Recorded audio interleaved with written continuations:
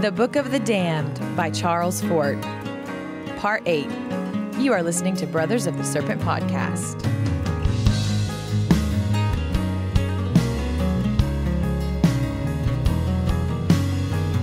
And welcome back, ladies and gentlemen, boys and girls, angels and demons and monsters and serpents. This is Brothers of the Serpent podcast, and we are coming to you not live from our 10 by 10 by 10 tangent cube of science, nestled amongst the dusty bones of an ancient seabed high atop the Edwards Plateau. A little bit of uh, professional enunciating there for those of you who can't understand that intro. I have people saying, like, what are you saying? Angels and demons and monsters and serpents. Uh, also, uh, meant I to can't say- even say it I meant to say it on the last uh, episode. Pro tip for those of you who are traveling: do not let your mask end up beneath the pile of dirty socks in your suitcase. Ooh. yeah. Pro tip. I got to the airport and I realized at at the Atlanta airport to come back home, and I was like, "Oh, everybody's wearing a mask." I'm like, ah, "I don't have my mask on."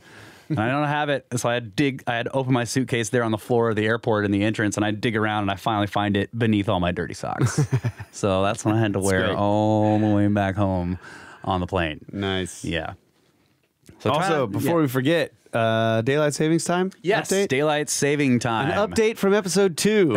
That's right. Someone's been listening to Snake Bros uh, up there on Capitol Hill because they are apparently pushing through a bill. Well, at least the Senate has passed it for the U.S. I don't know if it's going to pass the House or if it has yet or not.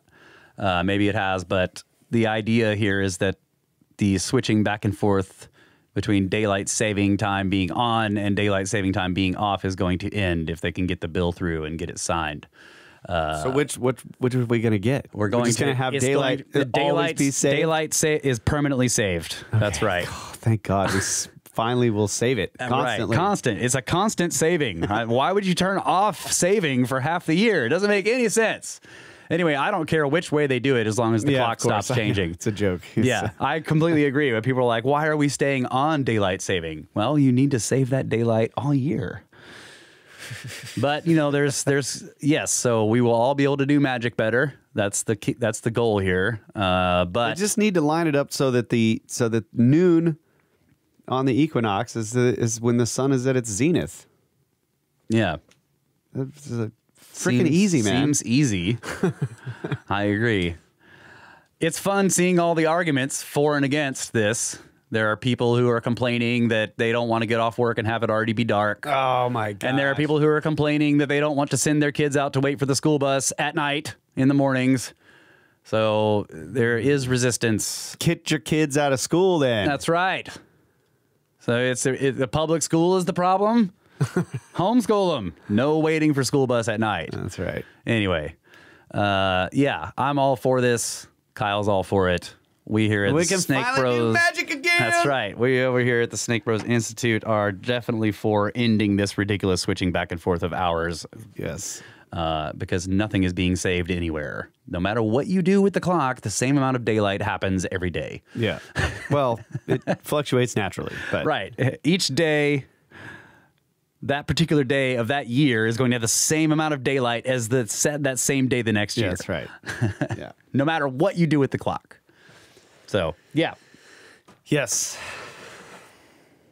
Such an annoying, meaningless, and pointless freaking. right. I'm so. I'm proud that this is actually that somebody's trying Finally, to do enough something. people get fed up with some stupid Yeah, thing that and it's actually yes. getting rid of it. That's It's right. amazing. And also, it's hilarious how no one can really tell you why, Why? it got started.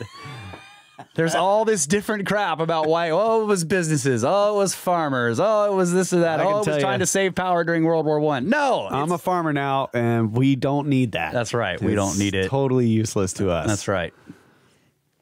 Okay. In fact, it's really annoying because that day when you're, you know, when you're making the switch, you're like, oh God, like what? yeah, yeah. What exactly is happening? And also, as as a musician in the studio, it's also a really bad thing because you know we were like, well, we can work on this a little bit longer. It's not too late. And the next thing we know, it's three thirty in the morning. like, what happened? we were going to sleep finally, and and GMA was like, dude, I figured out what it was. Yeah. It was daylight savings Saving. time. I was like, oh. Well, there So you go. annoying. There's your there's your rock and roll and agricultural update and everything all in one with the daylight saving time. Uh, so should we tackle space weather news? Yep. And there it There it is. Space weather news from spaceweather.com. More solar flares. This morning's strong M4 class solar flare looks like it was just the beginning. Active sunspot AR2975 continues Of course to it's an flare. AR. That's right. Since the instigating M4 event, it has produced an additional additional C3, C9, and M1 class explosions. So stay tuned for more flares. Uh, there's another story here about the solar tsunami, which we read about last episode. A lot of things happened all at once. Sunspot AR2975 uh, erupted on March 28th, producing a major M4 class solar flare. The blast propelled a solar tsunami through the sun's atmosphere. Uh, the tsunami was radioactive. It was its rippling leading edge beamed radio waves towards Earth. Ironically, while the sun was turning itself into a temporary radio beacon, it simultaneously wiped out some radio transmissions on Earth. A pulse of X rays from the flare ionized the top of the atmosphere over Africa, causing a shortwave radio blackout. Aviators, mariners, and ham radio operators in the area may have noticed fading and other unusual propagation effects at frequencies below 30 megahertz. Hmm. Energetic protons accelerated by the flare and tsunami are now peppering Earth's ag- uh, magnetosphere, causing minor S1 class radia- radiation storms. Our planet's magnetic field is funneling some of these particles toward the poles, where a second type of radio blackout is underway a polar cap absorption event. Airplanes flying over these regions may find that their shortwave radios won't work during the transit. That's So they're all getting vacuumed up by the hole in the very poles up there. Very interesting. Yeah. Well, it's just it's it's too much interference. no, it's get that the no, they're getting sucked into the hole. Oh, oh yeah, that's that's exactly poles. what it is. That's right. Yeah. That's exactly what it is. Current conditions: solar wind speed is 450.5 kilometers per second. The density is an extremely low 1.9 protons per cubic centimeter. Sunspot number is high, 97. Uh, the uh, spa- uh, the neutron count is 7.1 percent above the space age average, which is actually one of the lowest readings I think we've I've ever seen. Uh, maybe it'll keep going down as uh, cycle 25 goes up. Let's see. Planetary in KP index right now is zero, very extremely quiet, but the 24 hour max was four, which was unsettled, probably due to those flares uh, and other things. So we'll see. We'll see what keeps happening here. That's your space weather news for this week. Well, thank you, thank you, thank you. Uh, should we do crypto real quick? Let's tackle some crypto. Bitcoin climbing steadily, for $47,947.96. And Ethereum also climbing $3,410.97. Should have bought in a couple of weeks ago when it was down at 36000 Yeah, I know. Ethereum went really low too, Mm-hmm. but I'm glad it's up. Yeah. Yep, my portfolio is looking nice. Send us your useless Bitcoin. That's right. All right, what else we got? We got stories, we got uh, so skirps, and we got some emails. yeah, we're gonna we're gonna take a look at this. Uh, uh, I guess it was a couple weeks ago. The uh, Hiawatha crater was definitively dated, Oh, yes. finally and for all time. That's right. So I got an article here. I I read the uh, the the paper. Uh, there's a lot of Technical details. technical details in there, but thanks to Randall Carlson, I actually understood a lot of what they were saying. but it's it's just there's too much of that for the for the show. So I got this article from Forbes. Hiawatha crater dated to a few million years after dinosaurs' extinction impact. Danish and Swedish researchers have dated the enormous Hiawatha impact crater, a 31 kilometer wide meteorite crater buried under the Hiawatha Glacier in northwestern Greenland. The dating ends speculation that the meteorite has anything to do with the Younger Dryas climate shift or the extinction of the megafauna about 10,000 years ago. Yes, the. What does it say? The speculation has ended. Ever since 2015, when researchers at the University of Copenhagen's Globe Institute discovered the Hiawatha crater, combining radar data with gravity and magnetic surveys, uncertainty about the crater's age has been the subject of considerable speculation. Could the asteroid have slammed into Earth as recently as 13,000 years ago when humans had long populated the planet?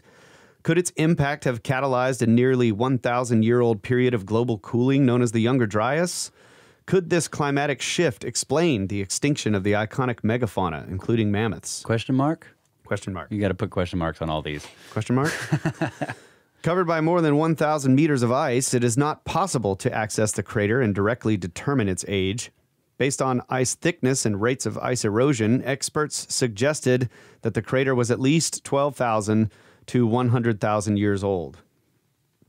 According to a news release by the University of Copenhagen, an analysis performed on grains of sand and rocks washed by meltwater from the crater site to the edge of the glacier, the Hiawatha Impact crater is far older. In fact, a new study published in the journal Science Advances today reports its age to be 58 million years old. Dating the crater has been a particularly tough nut to crack, so it's very satisfying that two laboratories in Denmark and Sweden, using different dating methods, arrived at the same conclusion. As such, on the sand that they got Yes. from the river. Uh, um, yeah. As such, I'm convinced that we've determined the crater's actual age, which is much older than many people once thought, says Michael Storey, co author of the study. As one of those who helped discover the Hiawatha Impact Crater in 2015, Professor Nicolaj Krog Larsen of the Globe Institute at the University of Copenhagen is pleased that the crater's exact age is now confirmed. Oh, exact age. It is fantastic to know its age. We've been working hard to find a way to date the crater since we discovered it seven years ago. Since then, we have been on several field trips to the area to collect samples associated with the Hiawatha impact, says Professor Larsen. No kilometer thick ice sheet draped northwest Greenland when the Hiawatha asteroid rammed into the Earth's surface, releasing several million times more energy than an atomic bomb. At the time, the Arctic was covered with a temperate rainforest and wildlife abounded, and temperatures of 20 degrees Celsius were the norm. Eight million years earlier, an even larger asteroid struck present day Mexico, causing the extinction of the Earth's dinosaurs. The asteroid smashed into Earth, leaving a 31 kilometer wide and 1 kilometer deep crater. The crater is big enough to contain the entire city of Washington, D.C. during the impact high pressure and high temperature minerals like, oh, I'm sorry, Washington, D.C., which normally has periods, but that is actually the end of the sentence. During the impact, high pressure and high temperature minerals like zircon formed in the rocks surrounding the impact site. The crystalline structure of zircon contains radioactive elements. As they decay to stable lead, the remaining levels of radioactive elements can be used to pinpoint the age of the crystal. The scientists extracted the zircon crystals from sand grains and pebbles washed by meltwater from beneath the ice sheet to the accessible glacier forefield. The sand was analyzed at the Natural History Museum of Denmark by heating the grains with a laser until they released argon gas, whereas the rock samples were analyzed at the Swedish Museum of Natural History using uranium lead dating of the mineral zircon. So, yeah, so they're in the I guess no one's ever told them that glacial ice will carry lots of material from all over the. Well, in the paper they talk about their they're they're collecting shocked crystals. okay. Right? So the idea is like, well, these crystals were shocked Yeah. by the impact. And so By somehow this impact. Yeah, by that impact. And so somehow uh I guess they couldn't be have already existed and then got shocked. Right. I, I don't know. Yeah. But yeah, they're Well, Martin, Anyway. Dr. Martin Sweatman, who we've had on the podcast before, who has an excellent blog, martinsweatman.blogspot.com. He wrote um Prehistory Decoded, uh, and he tackles also- a, he tackles a lot of these. He's also done an excellent series on his YouTube channel on the basically just uh, doing scientific reviews of Yes, the of these kinds all of these papers. on the Younger Dryas impact hypothesis. Yeah, really so he hasn't published anything yet specifically on his official blog or on his YouTube site about this that I know. But one of his hot takes, basically on Twitter, that I saw in response to somebody, uh, archaeonews.net posted giant impact crater in Greenland occurred a few million years after the dinosaurs went extinct, and his response was, Dr. Martin Sweatman says, probably not. They probably dated an ancient volcano instead. If it's really that old, it's the best preserved impact crater on Earth by far. Yet it's been under an ice sheet for millions of years, which would have wiped it clean off. This is not really credible. Yeah, and that's that's that's why it's interesting that the speculation in the beginning was that it was from twelve thousand Yeah. to one hundred thousand years old. Yeah. right. They, they were looking at the the the structure itself. Yeah. And they, and eh, and they did eventually give a wider range. They said twelve thousand up to two million. Like Yeah. so, starting at Two point three million could have Yeah. started the Pleistocene yeah, epoch. Yeah. So I agree. So we'll we'll we'll watch for future conversations and arguments and Yeah. debates about this. I think I, looked at the Tusk but if- website and he hadn't done anything on it Yeah, yet. but, I- you but but but what you get this is classic with all the younger Dryas stuff is Yeah. like you get a paper and then everybody's like argument over yeah, yeah, I know. every time. So yeah, I'm I'm I'm looking forward to seeing the debate play out. Yeah. uh, in the papers. So I'm hoping to see something on the Cosmic Tusk or from Martin Sweatman. I'd like to know, um, you know, what his take on the specifics of the paper are. Yeah. And in that vein, we should talk about this real quick because this is interesting. Um, some of you might remember George Howard talked a bit on our show about his. He went out to the Tal El Hammam site, Yes. the God, you know the biblical. Sodom, and it, uh, you know thinking it, it had impact proxies. Um, and, and then there was a paper released, and then there was some of tr- you know trash talking by Boslough et al. Mark Boslough, who has uh, kind of been really against all the younger Dryas stuff. So Yeah, this, this was the paper that was saying this site that could have been Sodom was destroyed by an impact and threw so much salt water from the Dead Yeah. Sea Yeah. up into the air that it rained down on all the surrounding land and Yeah. like just made it, you know, just totally made desolate. it un- uninhabitable, salted the earth. Yeah. basically, yes. which is just it's crazy because the you know the story and the myths is yeah, pillars you know of salt. got yeah yeah. It's got the whole like don't don't look back because you'll turn into a pillar of salt. That's it's like this right. classic Yeah. mythological representation of that story. It's just so cool to me. so oh, thi- and the, and nearby was Jericho. Yeah. and they're like the walls Fell. cramp- you know, Yeah, it got hit by this shock wave. yeah. And so we had talked a a while back on the show about. Um, I read the story of Jericho, Yeah, the processional significance. and you're like the- showing, okay, here's this group of people marching around and around Yeah. the city, and then the trumpets blast, and then the freaking walls fall down. Yeah, it's like you're like, this is talking about a the Yeah. orbital path of a of a you know a body out in space Yep. that eventually comes down, and ah, it's freaking awesome. Yeah. So uh, there was some interesting news about this. The Professor James Lawrence Powell apparently resigned from the uh, from CSI, which is the um, the what what is that? Oh, I have it right here. It's the Committee for Skeptical Inquiry.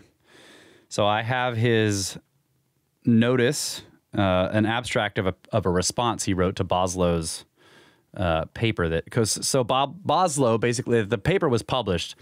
The published the paper was called "A Tunguska-sized airburst destroyed Tal El Hammam, a Middle Bronze Age city in the Jordan Valley near the Dead Sea," by Ted Bunch et al. There's your trumpet blast right there. Right. This is the airburst. Right. So Powell has this. This is called Sodom and Skepticism. On September 20th, 2021, scientific reports published a Tunguska sized airburst destroyed Tal El Hammam, a Middle Bronze Age city in the Jordan Valley near the Dead Sea, by Bunch et al. This article became one of the most widely read of the last decade, no doubt in part because scholars had long speculated that Tal El Hammam might have been the biblical city of Sodom. In the January February 2022 issue of Skeptical Inquirer, Mark Boslough published a rebuttal of Bunch et al. titled Sodom Meteor Strike Claims Should Be Taken with a Pillar of Salt. I have published a response to Boslough here, and I have also resigned from the Committee for Skeptical Inquiry, which publishes Skeptical Inquirer. See my resignation letter here, and I'm going to read that letter right now. Dear Kendrick of CSI, I hereby resign from the Committee for Skeptical Inquiry. Please inform the members of the committee of my resignation. My reason is the publication of Mark Boslough's re- recent article in the Skeptical Inquirer. It violates nearly every tenet of proper skepticism as defined by CSICOP and CSI. Sagan said that ad hominem arguments are irrelevant, yet half of Boslough's article is an ad hominem attack on a single author of the Tal, El Hammam article. Another 20% of the article casts aspersions on the volunteer and religious organizations that supported the research. Hyman recommends that skeptics use the principle of charity, yet Boslough falsely accuses one of the BEA authors of having a criminal record and strongly implies that as a group they may have committed scientific misconduct. He also uses loaded language, e.g., photoshopping, fear mongering, masquerading, tampering, mishandling, and giggle factor. Worst of all, Boslough never evaluates the evidence for cosmic impact presented in the Tal El Hammam article. Thus, from the point of view of advancing both science and skepticism, Boslough's article is irrelevant. All of this is discussed in detail in a preprint here. If Skeptical Inquirer is to publish articles by members of CSI, should they not exemplify the best of scientific skepticism? Sincerely, James L. Powell. Wow, that's great. So props to him for having principles there.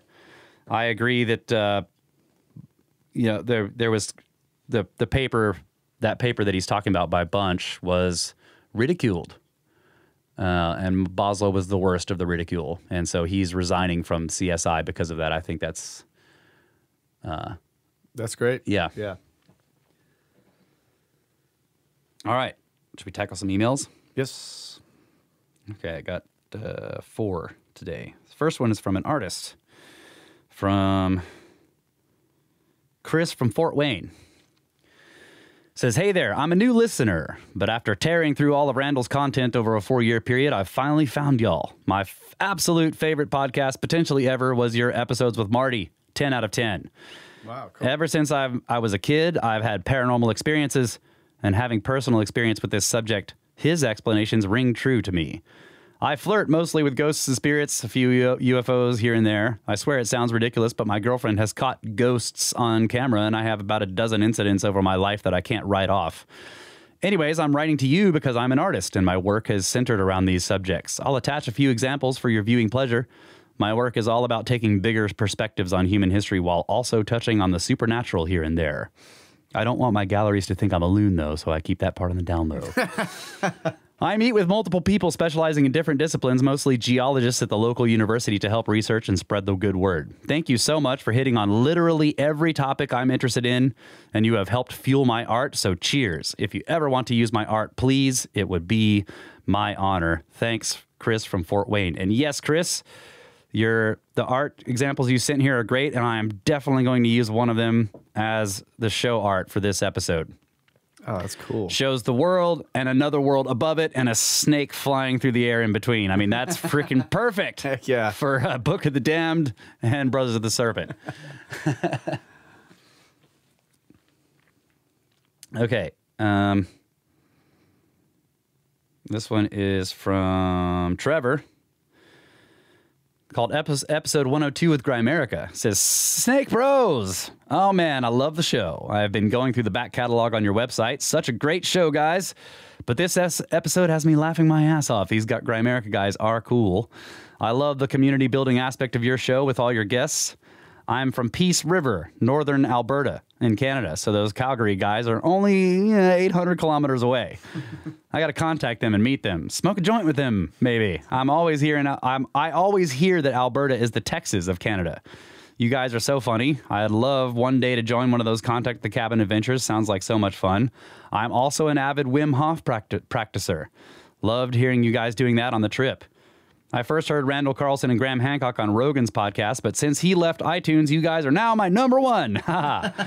you inspire me to keep digging, keep learning, and keep straight uh, and keep straight into out the scriptards out there. It's so cool who all these like-minded people find and support each other. Keep it up, snacks, and maybe I'll even hear back from you guys. Peace. Nope, you won't hear back from us except on the show just now. Thank you, buddy. Yeah, thank you very much. And don't bother going and visiting Darren and Graham. Yeah. It's not not worth it. It's it. totally not worth it. Just kidding. no, those guys are great. All right, this is from, let's see, Levon. And it is called Egyptian plus Mesoamerican Origins. Hey, bros. Let's talk about linguistics. I was plowing through the back catalog when a startling piece of information hit me. No one knows how to pronounce Thoth. You bros mentioned it might be spoken as Tehuti, and I was immediately drawn to the Aztec word Teotl. Teotl means gods. Teotihuac- Teotihuacan or Teotihuacan is the place of the gods, and Mesoamericans called the conquistadors Atlanteotl or gods from the sea.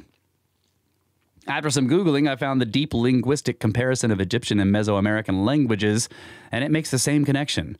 So my mind is spinning around the idea of Thoth or Tehoti traveling from Egypt to build the great Central American pyramids. Tehoti gives his name to Teotl and becomes remembered as a civilizing god.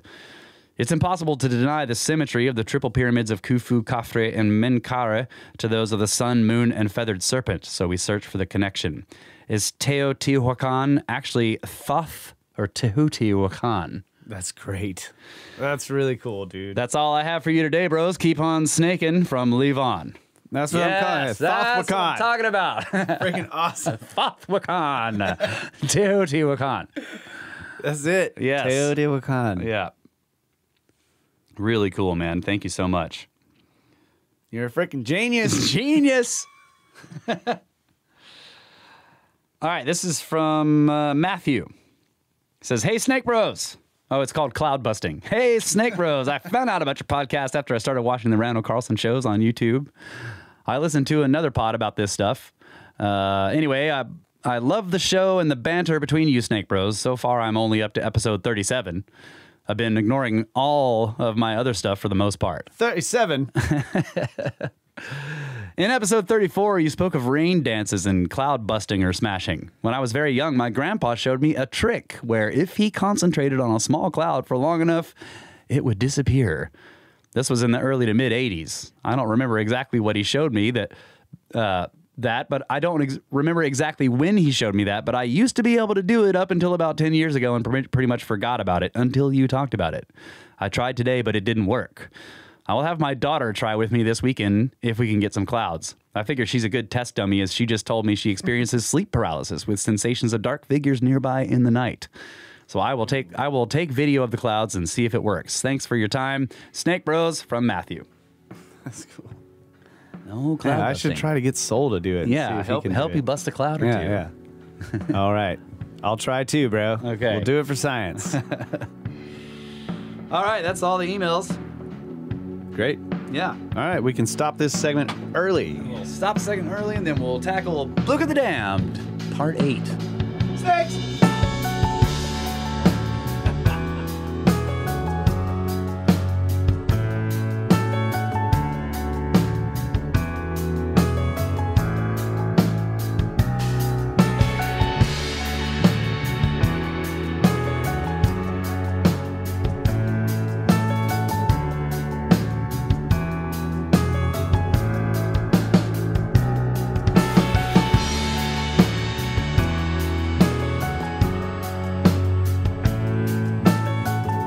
Back, ladies and gentlemen.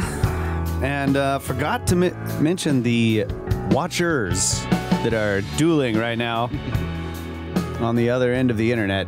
Is this an album song, by the way? This is yeah, this is a alternative instrumental for our immortality. all right. It's pretty cool.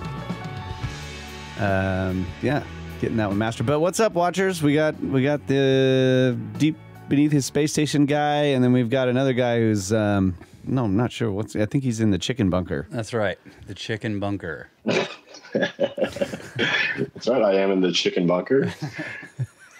And I'm uh, Uh, in a in a spaceport at the moment. Thank you, Brenner, once again for uh, for having my back. Yeah, you're about to get on Gotcha, a. bro. You're about to take off in a spaceship, That's right. Yeah, and due to G forces, back you won't be able home to. finally. Well, we appreciate both of y'all being here, Yep. and uh, it's always fun to see y'all um, fighting Yeah. on the other end there. It's great. That's right. Gets it gets pretty fiery in the watcher chats when they're both there. It's a fierce battle. All right, shall we? Uh, Well, let's let's should we let's let's go over this chondrite stuff. just just at- Okay. at, the start here. I was looking through um because we had some questions on, you know, what exactly is a carbonaceous chondrite, and Fort Fort was questioning whether we should just go ahead and call it coal sometimes. so it is true basically when i was reading through this that this class of meteorite is it covers a very wide range of stony meteorites some of which can have inclusions of metal some don't um, but they include organic compounds so a general description here on the wikipedia page for carbonaceous chondrite i'll just read bits of this C chondrites contain a high proportion of carbon which is in the form of graphite, carbonates, and organic compounds, including amino acids. In addition, they contain water and minerals. Wa- they contain water and minerals that have been modified by the influence of water. The carbonaceous chondrites were not exposed to higher temperatures, so they are hardly changed by thermal processes. Now, I wondered what That's this interesting meant. because when it impact when it when it's going through entry, yes, it would experience high temperatures. But I guess by that time it's already a rock. Is that what the deal? Like, in- in, Well- in other words, the forming of it wasn't. Right. So that's what I mean. I was I'm questioning here when were they thinking it should have been exposed to higher temperatures? Like when during formation out in space 'Cause the idea or would be- during during entry. Okay, But th- this may imply that some of them come in rather gently. Ah. So they don't get hot. Now, ones like the Tunguska object, which Obviously was a, get hot, which was a yes, a stony meteorite. It exploded uh, because it was getting hot, and it came in. It came in hot, right? It was Mm-hmm. coming fast. coming in hot. That's right, coming in hot. There's a bunch of other stuff about possible formation. The reason they call them primitive materials or pre-solar minerals.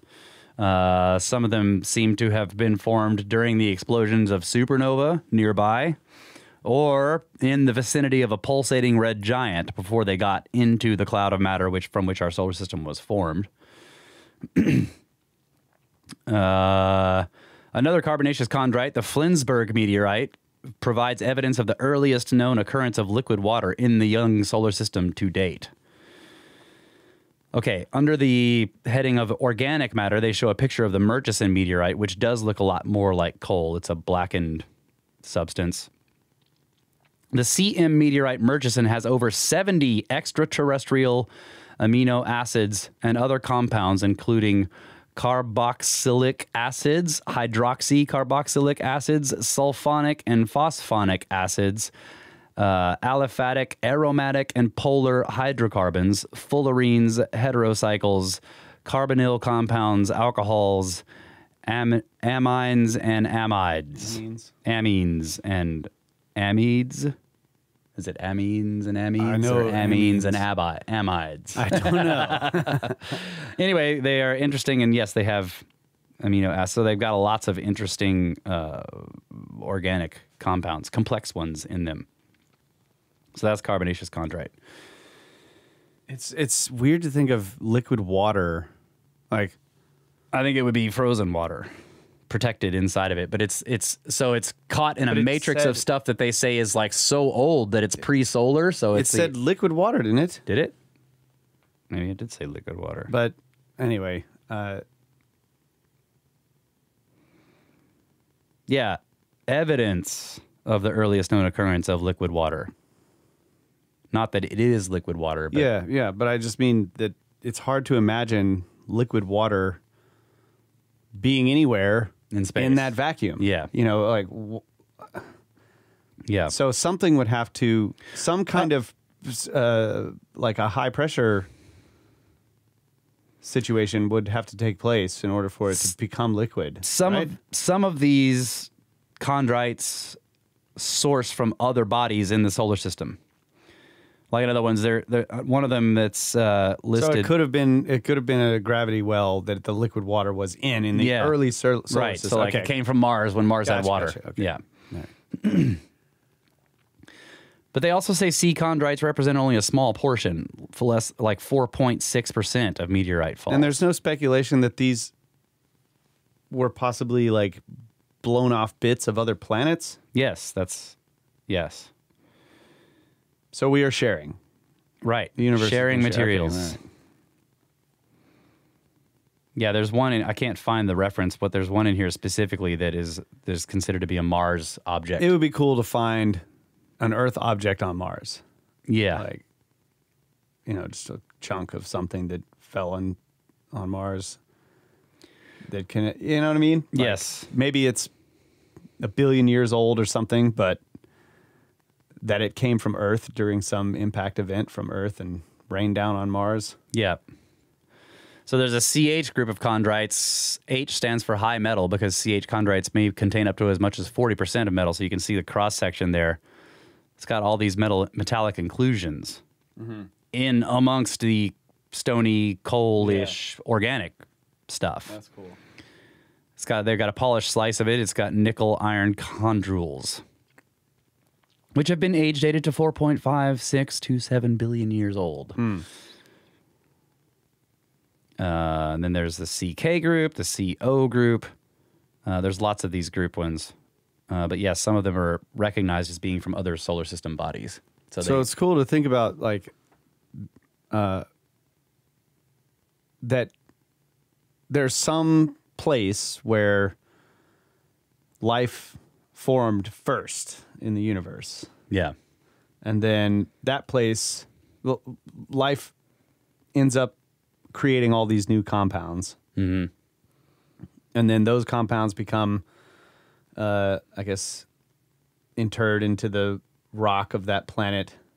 And then that planet gets impacted by something and those compounds get thrown into space and then they end up seeding other planets so that those planets now have a jump start yep, having these complex compounds that could make it easier for the you know if it was a random uh occurrence that caused life to exist or something like that right just going with standard model yeah, that, that it would make it easier for other places to Yes. have that same Yeah. sort of random occurrence. And so then the more of those that happen makes it e- gives increases the probability of it happening in other places Yep. Because you got more places that are getting impacted and throwing up more stuff that's being shared and right. that's just cool. life uh, finds, a way. All right, let's tackle the Book of the Damned, the Book of the Gosh Darn It. Charles Fort. Um, the Book of the god dang it. so I'm again skipping many large chunks of this book, focusing and zeroing in on the accounts. Uh, so if you're interested in reading the entire thing for yourself, there will be links in the show notes to get a digital, physical, or audible copy. So last week we kind of ended in the middle of the beginning of the parts about cup marks. So I'm going to back up a tiny bit just to get started here. So Fort says, I have been very much struck with the phenomena of cup marks. They look to me like symbols of communication, but they do not look to me like means of communication between some of the inhabitants of this earth and other inhabitants of this earth. Cup. Cup. Okay. Yes, as in teacup. My own impression is that some external force has marked with symbols rocks of this earth from far away. I do not think that cup marks are inscribed communications among different inhabitants of this earth because it seems too unacceptable that inhabitants of China, Scotland, and America should all have conceived of the same system.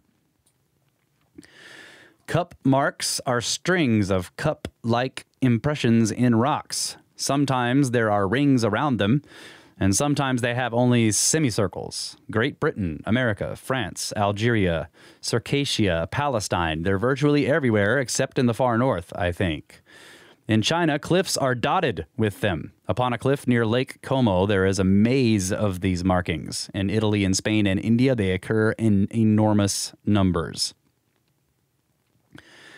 Given that a force, say like electric force, could from a distance mark such a substance as rocks, as seen from a distance of, hundreds of miles, selenium can be marked by telephotographers. But I am of two minds. The lost explorers from somewhere, and an attempt from somewhere to communicate with them. So, a frenzy of showering of messages towards this earth in the hope that some of them would mark rocks near the lost explorers. So, he's just making up scenarios here. Or that somewhere upon this earth there is an especial rocky surface, or receptor, or polar construction, or a steep conical hill upon which for ages have been received messages from some other world, but that at times messages go astray and mark substances perhaps thousands of miles from this receptor. that perhaps forces behind the history of this earth have left upon the rocks of Palestine and England and India and China records that may someday be deciphered of their misdirected instructions to certain esoteric ones, the Order of Freemasons or the Jesuits. So again, he's going conspiracy here and saying that like the Freemasons or the Jesuits or somebody here is in communication with something outside of this planet and have been for a long time. I emphasize the row formation of cup marks. Professor Douglas in the Saturday Review, November 24th of 1883 says, Whatever may have been their motive, the cup markers showed a decided liking for arranging their sculpturings in regularly spaced rows.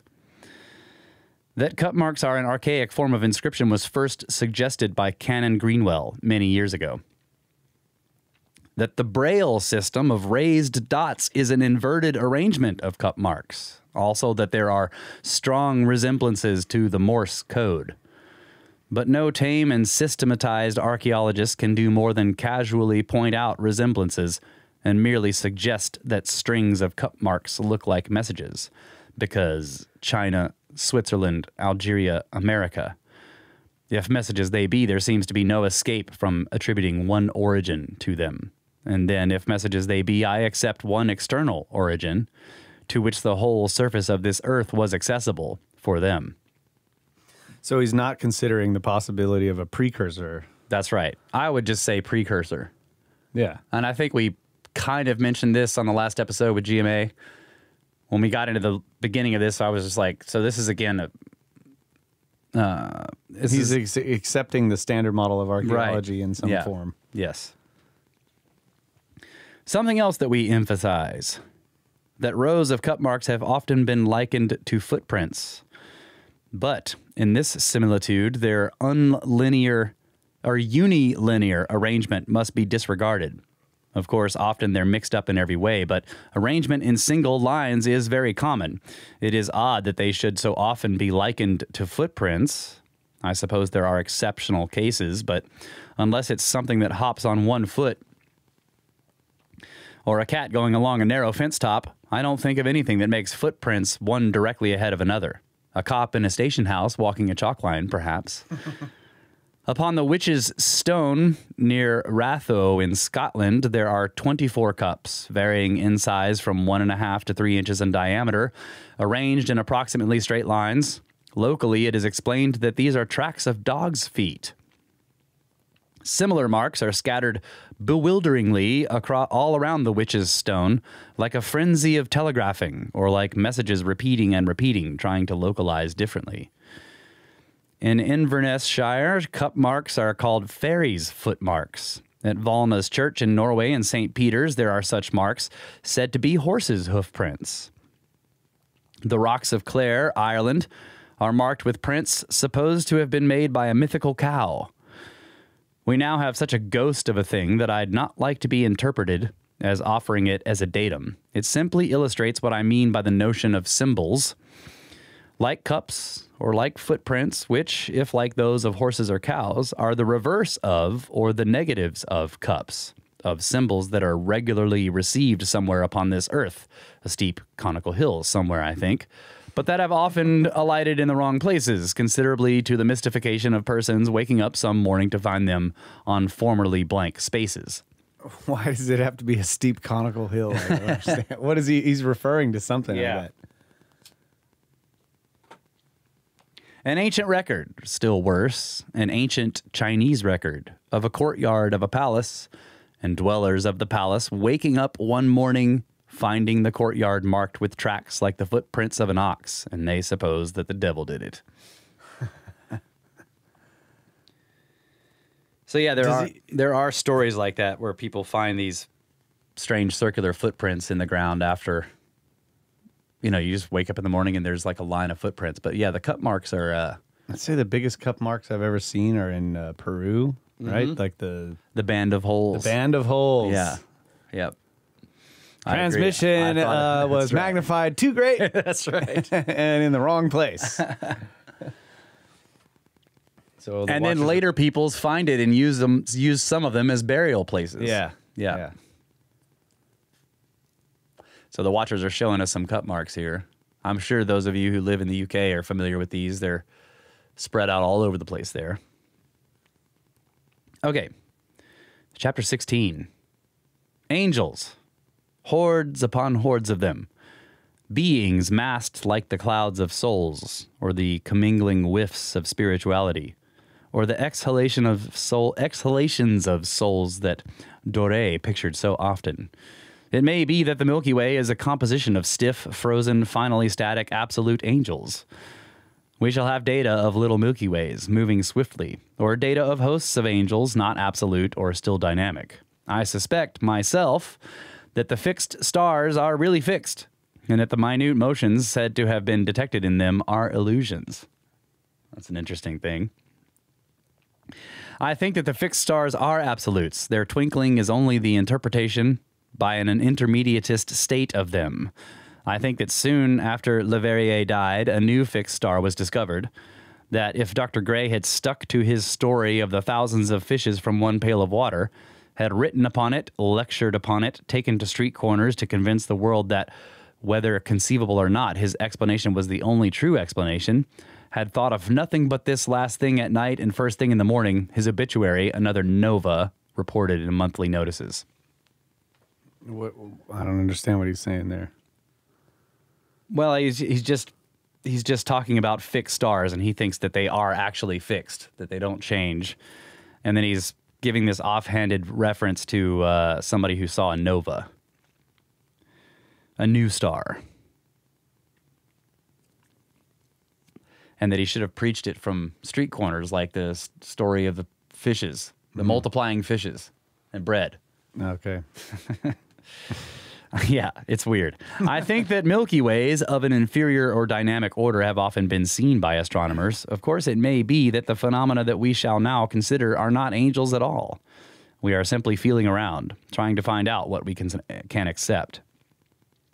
Some of our data indicate hosts of rotund and complacent tourists in interplanetary space, but then data of long and lean and hungry ones. I think that there are, out in interplanetary space, super Tamerlanes uh, at the head of hosts of celestial celestial ravagers. So I looked this up.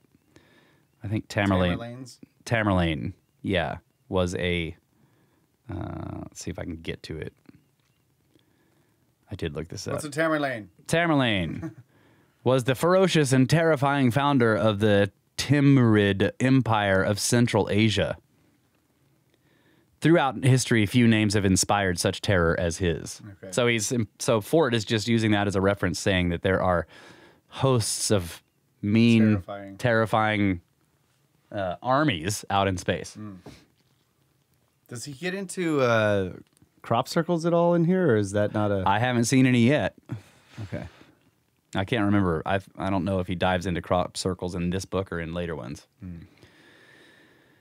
So yes, super Tamerlanes at the heads of hosts of celestial ravagers, which have come here and pounced upon civilizations of the past, cleaning them up all but their bones, temples, and monuments, for which later historians have invented exclusionist histories.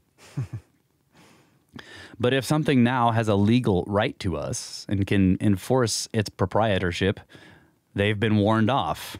It's the way of all exploitation. I should say that we're now under cultivation, that we're conscious of it, but have the impertinence to attribute it all to our own nobler and higher instincts. So again, he's going Bramley He's there. going all Bramley. Yeah. Bramley was going all forward. That's right. Or the year 1491, and a European looking westward over the ocean, his feeling that that suave western droop was unbreakable, that gods of regularity would not permit that smooth horizon to be disturbed by coasts or spotted with islands. The unpleasantness of even contemplating such a state, wide, smooth west, so clean against the sky, spotted with islands, geographic leprosy. So he's again he's thinking of, you know, somebody a European standing on their west coast looking west out over the Atlantic and thinking it just goes on forever. It's smooth and flat. There's no lands that way. Hmm. but coasts and islands and Indians and bison. In the seemingly vacant west, lakes and mountains and rivers, one looks up at the sky, the relative homogeneity of the relatively unexplored, and one thinks only of a few kinds of phenomena. But the acceptance is forced upon me that there are modes and modes and modes of interplanetary existence, things as different from planets and comets and meteors as Indians are from bison and prairie dogs. A supergeography or celestiography of very stagnant regions, but also of super Niagaras and ultra Mississippis. A super sociology, voyagers and tourists and ravagers, the hunted and the hunting, the super mercantile, the super piratic, and the super evangelical. So he's comparing that European looking out at the Atlantic to us looking up in space. Yeah. I'm thinking there's nothing out there but Right. a bunch of burning balls of mass. That's right. He's and like, rocks. Nope. In the monthly notices of the Royal Astronomical Society, Volume 11, there is a, rever- a letter from the Reverend W. Read. That upon the 4th of September, 1851, at 9:30 a.m., he had seen a host of self-luminous bodies passing the field of his telescope, some slowly and some rapidly. They appeared to occupy a zone several degrees in breadth. The direction of most of them was due east to west, but some moved from north to south. Their numbers were tremendous, and they were observed for six hours. Hmm. Editor's note May not these appearances be attributed to an abnormal state of the optic nerves of the observer? In monthly notices, volume 12, Mr. Read answers that he had been a diligent observer with instruments of a superior order for about 28 years. Quote, but I have never wi- witnessed such an appearance before, unquote. As to illusion, he says that two other members of his family had seen these objects, and thus the editor withdraws his, his suggestion. so we know what to expect. If Mr. Read saw a migration of dissatisfied angels numbering millions, they must merge away, at least subjectively, with commonplace terrestrial phenomena. Of course, disregarding Mr. Read's probable familiarity of 28 years' duration with the commonplaces of terrestrial phenomena. So he's just pointing out there that a 28 year observer, Mr. Read, a diligent one with superior optics, would know the commonplace stuff for the most part, would see the commonplace. Right. So he would know, like, uh, in 28 years of observing, I've never seen something like this ever. Right. Monthly Notices, Volume 12, letter from Reverend W.R. Dawes, that he had seen similar objects, and in the month of September, but that they were nothing but seeds floating in the air. It was the Black Knight satellite. In the report of the British Association, 1852, there is a communication from Mr. Read to Professor Baden Powell that the objects that had been seen by him and Mr. Dawes were not similar. He denies that he had seen seeds floating in the air. There had been little wind, and that had come from the sea where seeds would not likely be to have an origin. The ob- Except for a water spout. Yeah, could be that. Raining seeds. The objects that he had seen were round and sharply defined and with none of the feathery appearance of thistledown.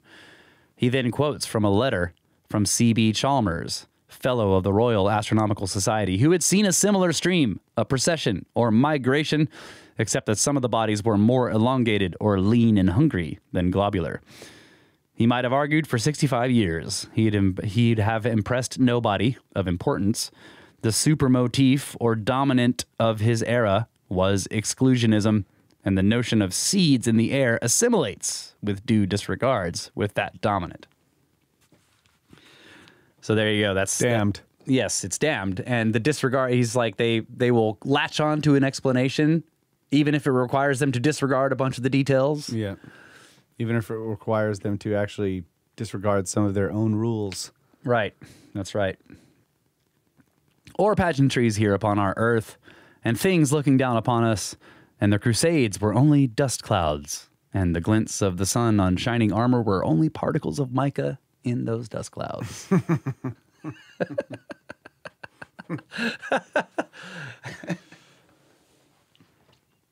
Snarky. Very snarky. Professor Coffin, in the Journal of the Franklin Institute, Volume 88, said that during the eclipse of August in 1869, he had noticed the passage across his telescope of several bright flakes resembling thistle blows floating in the sunlight, But the telescope was so focused that if these things were distinct, they must have been so far away from this Earth that the difficulties of orthodoxy remain as great, one way or another, no matter what we think they were. And they were well defined, says Professor Coffin. Henry Waldner. So, in other words, if they were seeds, they would have to be close. And if they were close, they would be fuzzy. Right. They would have just been indistinct and so- blobs, but he was seeing distinct things that Yeah, looked so- like thistle downs, but he was focused with his telescope. It implies they are out in space. distance, yeah. Yeah. Henry Waldner in Nature said that April 27th, looks like. 1860. What? I wonder what a thistledown looks like. Isn't that the. Yeah, look it up. Uh, Watcher? Zzz, Watchers. April 27th, 1863, Henry Waldner had seen great numbers of small shining bodies passing from west to east. He had notified Dr. Wolf of the Observatory of Zurich, who had convinced himself of this strange phenomenon. Dr. Wolf had told him that similar bodies had seen had been seen by Signor Capocci of the Capodimonte Observatory at Naples, March 11th in 1845. The shapes were of great diversity, or maybe different aspects of similar shapes. Appendages were seen on some of them. We are told that some were star shaped with transparent appendages. So, again, we, this is why he's kind of tongue in cheek referring to angels in the sky. Yeah, th- okay, that's it. The thistledown, those uh, dandelion things. Right? That's what I thought of. Those things are very fuzzy. but I mean, it's like so there's like a middle point, like the actual seed, and then there's all the little hairs that come Yeah, they, they're spindle shaped with hairs coming out. so he's them. seeing that in focus Yeah. in his telescope. yeah, What the heck is that? yeah. That's weird.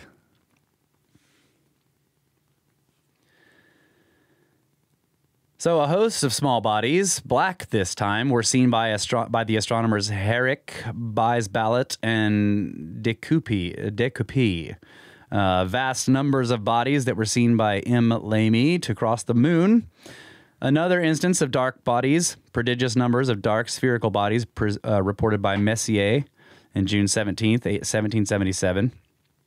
A consider this is just a whole list of these. Considerable number of luminous bodies which appear to move out from the sun in diverse directions, seen at Havana during eclipse of the sun, May 15th, 1836, by Professor Auber. M. Poey cites a similar instance in August 3rd, 1886. Uh, M. Lotard's opinion that they were birds, and there's a large number of small bodies crossing the disk of the sun, some swiftly, some slowly, most of them globular, but some seemingly triangular, and some of more complicated structure, seen by M. Trouvelot, who, whether seeds, insect, birds, or other commonplace things, had never seen anything resembling these forms, he said. There's a report from the Rio de Janeiro Observatory of vast numbers of bodies crossing the sun, some of them luminous and some of them dark, from sometime in December of 1875 until January of 1876.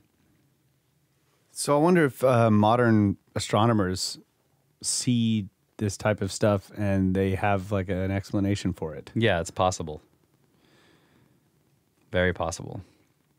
But mo- a lot of our sun observatories now are just out in space. So, and then there And are looking all the anomalies time. Yeah, and then there are anomalies that cross the the face of the sun, even from those Yeah. out in space observatories. I just wonder what their explanation for it is now. It's like, oh, you know, there's No, it a bunch of was a- rocks and stuff floating around. oh there. yeah, it was a glitch in the uh, optics. You know, it was a bad pixel. or I guess the more oftenly used explanation is that it's a, a cosmic ray causing a bad pixel. Letter from Sir Robert Inglis to Colonel Sabine in the report of the British Association in 1849 says that at 3 p.m. August 8th in 1849 in Switzerland, Inglis had seen thousands and thousands of brilliant white objects like snowflakes in a cloudless sky. Though this display lasted about 25 minutes, not one of these seeming snowflakes was seen to fall. Inglis says that his servant fancied that he had seen some something like wings on these, whatever they were. On page 18 of this report, Sir John Herschel says that in 1845 or 46, his attention had been attracted by objects of considerable size in the air, seemingly not far away. He had looked at them through the telescope. He says that they were masses of hay, not less than a yard or two in diameter. Still, there are some circumstances that interest me. He says that no less than a whirlwind could have sustained these masses, but the air about him was calm. No doubt wind prevailed at the spot, but there was no roaring noise, he said.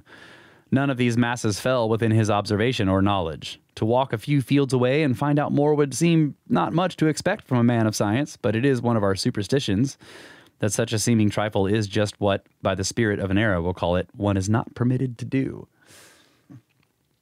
If those things were not masses of hay, and if Herschel had walked a little and found out, and had reported that he had seen strange objects in the air, that report in 1846 would have been as misplaced as the appearance of a tail upon an embryo still in its gastrula era.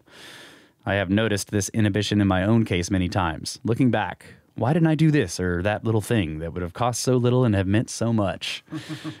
Didn't belong to that era of my own development. All right, ah, it's break time. Oh yeah. Wow. It is Time break time. flies. In the cube. We'll be right back.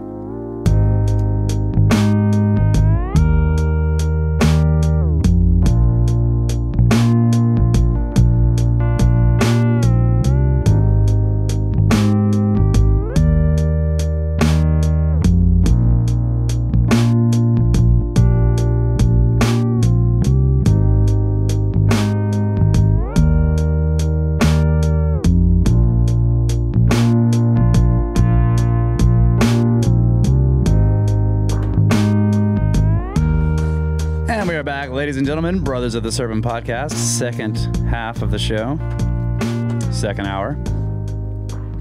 Still going through Charles Fort's Book of the Damned. And I actually don't know how much is left in the book because this edition I have is all four of them. Has all the notes. Oh, it's all four. All four books. Gotcha. So according to it, uh, we are only 18% of the way through. So I don't know how much Ah.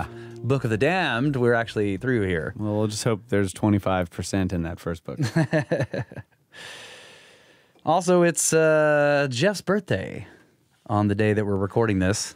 Happy birthday, buddy. Happy birthday, buddy. Yo, Saucy Jefferman. That's right. Jeff Saucerman, which means that his ancestors probably came from a UFO Yeah. at some point. Saucer Man. All right. In Germany, about half an hour before sunrise, March 22nd, 1880, an enormous number of luminous bodies rose from the horizon, passed in a horizontal direction from east to west. They are described as having appeared in a zone or belt, and they shone with a remarkably brilliant light.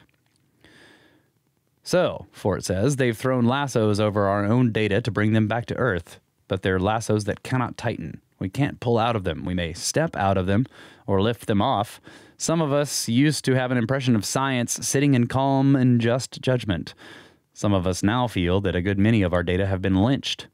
If a crusade, perhaps from Mars to Jupiter, occurs in the autumn, there are seeds. If a crusade or outpouring of celestial vandals is seen from this earth in the spring, it's ice crystals.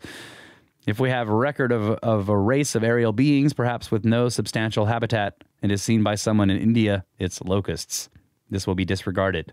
If locusts fi- fly high, they freeze and fall in the thousands. In Nature, Volume 47, locusts that were seen in the mountains of India at a height of 12,750 feet in swarms and dying by the thousands. But no matter whether they fly high or fly low, no one ever wonders what's in the air when locusts are passing overhead because of the falling of stragglers. I have especially looked this matter up. No mystery when locusts are flying overhead, there is a constant falling of stragglers. Monthly Notices, Volume 30.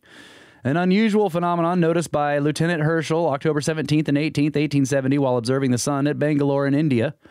Lieutenant Herschel had noticed dark shadows crossing the sun, but away from the sun there were luminous, moving images. For two days, bodies passed in a continuous stream, varying in size and velocity. The lieutenant tries to explain, as we shall see, but he says, as it was the continuous flight for two whole days, in such numbers, in the upper regions of the air, of beasts that left no stragglers, is a wonder of natural history, if not of astronomy. He tried different focusing. He saw wings. Perhaps he saw planes. He says that he saw upon the objects either wings or phantom like appendages. And then he saw something that was so bizarre that in the fullness of his 19th centuryness, he writes, There was no longer doubt they were locusts or flies of some sort, because one of them had paused, it had hovered, and then it had whisked off. The editor says that at that time, countless locusts had descended upon certain parts of India. So I think what Fort's trying to point out here is that in most known locust passages, migrations, whatever, where there's tons of them, they're constantly falling to the ground. Stragglers, they call them. Mm-hmm. But in this case, Herschel was in, was viewing something that was way farther than most locust swarms are seen to fly. Way, way up there. He used his telescope to look at them. There were no stragglers falling. He sees one pause, hover, and then whisk off, very UFO like. Mm-hmm. And they decide that it must be locusts. So I don't know. Man, that must have been really hard to uh, try to focus on them. You know what I mean? Yeah. Because you're also there. There would be depth to Yeah. them, Right. So you're you you might be able to adjust the focus and gather like focus in on a few, but then they're moving across the lens. and Yeah. it's like That's right. how do you? eh, that would be really difficult. At the observatory of Zacatecas in Mexico, I don't know if I'm saying that right, August 12th, 1883, about 2,500 meters above sea level, we're seeing a large number of luminous small bodies entering upon the disk of the sun. M. Bonilla telegraphed to the observatories of the city of Mexico and Puebla. Word came back that the bodies were not visible there. Because of this parallax, M. Bonilla placed the bodies relatively near to the Earth. But when we find out what he called relatively near the Earth, birds or bugs or hosts of Super Tamerlane or an army of celestial Richard the Lion, our heresies rejoice anyway. His estimate is of less distance than the moon. Yes. One of them was photographed. Uh, see L'Astronomie, 1885, page 349. The photograph shows a long body surrounded by indefinite structures or by the haze of wings or planes in motion. Signor Ricco of the Observatory of Palermo writes that November 30th, 1880, at 8:30 o'clock in the morning, he was watching the sun when he saw, slowly traversing its disk, bodies in two long parallel lines and a shorter parallel line. The bodies looked winged to him, but so large were they that he had to think of large birds. He thought of cranes. He consulted ornithologists and learned that the configuration of parallel lines agrees with the flight formation of cranes. This was in 1880. Anybody now living in New York City, for instance, would tell him that also it is a familiar formation of aeroplanes. But because of data of focus and subtended angles, these beings or objects must have been very high. Senor Ricco argues that condors have been known to fly three or four miles high, and that heights reached by other birds have been estimated at two or three miles. He says that cranes have been known to fly so high that they have been lost to view. Our own acceptance, in conventional terms, is that there is not a bird of this earth that would not freeze to death at a height of more than four miles. That if condors fly three to four miles high, they are birds that are especially adapted to such altitudes. Senor Ricco's estimate is that these objects or beings or cranes must have been at least five and a half miles high. So again, they could be birds. Fort is just questioning the ability of birds to fly that high above the surface. I wonder how high they can fly. Yeah. Well, he does say, Senor Ricco argues that condors have been known to fly three Yeah. or four miles, but these were five and a half. Chapter 17 The vast dark thing that looked like a poised crow of unholy dimensions. Assuming that I shall ever have any readers, let him or both of them, if I shall ever have such popularity as that, note how dim that bold black datum is at the distance of only two chapters. I just had to read that because it. He's like, if I ever have any readers, let him, that one guy, or both of them, if I ever am that popular. the question: Was it a thing, or was it the shadow of a thing? This datum is so important to us because it enforces in another field our acceptance that dark bodies of planetary size traverse this solar system. Our position that these things have been seen, and also that their shadows have been seen. In Popular Science, Volume 34, Serviss tells us of a shadow that Schroeter saw in 1788 in the lunar Alps. First, he saw a light. But then, when this re- region was illuminated, he saw a round shadow where the light had been. Our own expression that he saw a luminous object near the moon, and then that part of the moon became illuminated and the object was lost to view, but that its then then its shadow underneath it was seen. Serviss explains, of course, otherwise he'd not be a professor Serviss. It's a little contest in relative approximations to realness. Professor Serviss thinks that what Schroeter saw was the round shadow of a mountain in the region that had become lighted.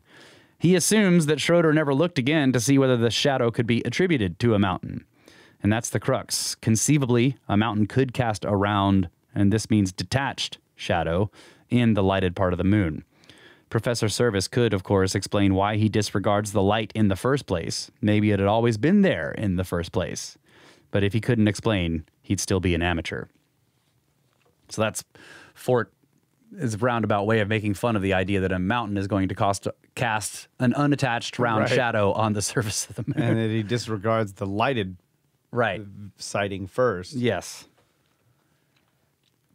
Mr. H.C. Russell, who was usually as orthodox as anybody, I suppose, at least he did write FRAS, or Fellow of the Royal Astronomical Society, after his name, tells us in the Observatory, Volume 2, one of the wickedest, most preposterous stories that we have so far exhumed that he and another astronomer, G.D. Hirst, were in the Blue Mountains near Sydney, New South Wales, and Mr. Hirst was looking at the moon. And he saw on the moon what Russell calls one of the most one of those remarkable facts which being seen should be recorded, although no explanation can at present be offered. Lashed by the phantom scourge of a now passing era, the world of astronomers is in a state of terrorism though of a highly attenuated, modernized, devitalized kind. Let an astronomer see something that is not of the conventional celestial sights or something that it is improper to see, and his very dignity is in danger. Someone of the crowd and scourge may stick a smile into his back, and he'd be thought of unkindly. Stick a smile into his back. yes. They'll be smirking. They'll behind smirk him. at him Smirk behind, his back. That's right. Stab him in the back with a smile. with a hardihood that is unusual in his world of ethereal sensitive uh, sensitiveness, sensitivenesses, Russell says of Hirst's observation. He found a large part of it covered with a dark shade, quite as dark as the shadow of the earth during an eclipse of the moon and one could hardly resist the convic- conviction that it was a shadow, yet it could not be the shadow of any known body. So they're talking about an, an enormous circular shadow on the surface of the illuminated moon. That's cool, dude. And there, and you know, uh, Professor Russell or whatever is saying it was not the shadow of any known body. Right. That is just the teaching. uh, So we're skipping quite a bit here. But so that is just the teaching of this department of advanced astronomy that Russell and Hirst saw the sun eclipsed relatively to the moon by a vast dark body. That many times have eclipses occurred relatively to this earth by vast dark bodies. That there have been many eclipses that have not been recognized as eclipses by scientific kindergartens. There is a merger, of course. We'll take a look at it first. That, after all, it may have been a shadow that Hirst and Russell saw, but the only significance is that the sun was eclipsed relatively to the moon by a cosmic haze of some kind. So, what they're saying here is that something came between the earth, the sun and the moon and ca- cast a shadow onto the moon, which is what they saw. So that's what he means by the sun was eclipsed relative to the moon. Right. Not the Earth. Right. Uh, okay, yeah. So there, so it is. The only significance is that the sun was eclipsed relatively to the moon by a cosmic haze of some kind, or a swarm of meteors close together, or a gaseous discharge left behind by a comet. My own acceptance is that vagueness of shadow is a function of vagueness of intervention. That a shadow as dense as the shadow of this earth is cast by a body denser than hazes and swarms. The information seems definite enough in this respect. Quote, quite as dark as the shadow of this earth during the eclipse of the moon, Right. unquote. So something solid is what he's suggesting. Yes, right. If we are in harmony with a new dominant, or the spirit of a new era in which exclusionism must be overthrown, if we have data of many obscurations that have occurred, not only upon the moon, but upon our own Earth, as convincing as of as convincing of vast intervening bodies, usually invisible, as is any regularized predicted eclipse. One looks up at the sky. It seems incredible that, say, at the distance of the moon, there could be, but be invisible, a solid body, say, the size of the moon. But one looks up at the moon at a time when only a crescent of it is visible. The tendency is to build up the rest of it in one's mind, but the unillumined part looks as vacant as the rest of the sky. Yep. And it is of the same blueness as the rest of the sky. There is a vast area of solid substance just before one's eyes, but it is see it. indistinguishable from the sky. That's right. That's freaking cool. Yeah. Monthly notices of the Royal Astronomical Society, Volume 8. A remarkable appearance during the total eclipse of the moon on March 19th, 1848. In an extract from a letter from Mr. Forster, it is said that according to the writer's observations at the time of the predicted total eclipse, the moon shone with about three times the intensity of the mean illumination of an eclipsed lunar disk, and that the British consul at Ghent, who did not know of the predicted eclipse, had written inquiring as to the blood red color of the moon. But there follows another letter from another astronomer, Walkey, who made the who had made observations uh, at St. Lawrence that instead of an eclipse, the moon became, as is printed in italics, most beautifully illuminated and rather tinged with a deep red, the moon being as perfect with light as if there had been no eclipse whatsoever. So they're all watching an eclipse, but it actually gets brighter and red during the eclipse. Hmm. Now, I remember we watched a lunar eclipse recently here. Yeah, the wolf moon. Yeah, and the moon turned orangey red. Really Yeah. cool. And I that think was that's a product of the penum- uh, penumbral penumbral. eclipse. Yeah, it's like it's the sunlight coming through the Earth's atmosphere, causing it to look red. Surely that would have been known about at this time. Yeah, I think so. Yeah, but it definitely got darker when I when we watched that eclipse. Yeah. You looking it up? Mm-hmm. Okay. All right. But a single instance. oh, go ahead. Penumbral lunar eclipse takes place when the moon moves through the faint outer part of the Earth's shadow, the penumbra. Okay. This type of eclipse is not as dramatic as other types of lunar eclipses and is often mistaken for a regular full moon. So, uh, let's see. Yeah, basically, you're getting the atmospheric. It's it's like you get the sunset Yeah. cast upon the moon. Yeah. That's Blood why it wolf becomes. moon. Yeah, that's right. so we were making fun of it because I couldn't figure out what to call it. The wolf blood moon, blood wolf moon. Single instances. So an observation by Scott in the Antarctic. The force of this datum lies in my own acceptance, based upon especially looking up this point, that an eclipse nine tenths of totality has a great effect even though the sky be clouded. Scott in Voyage of the Discovery, Volume 11. says there may have been an eclipse of the sun, September 21st, 1903, as the almanac said, but we should, none of us, have liked to swear to this fact.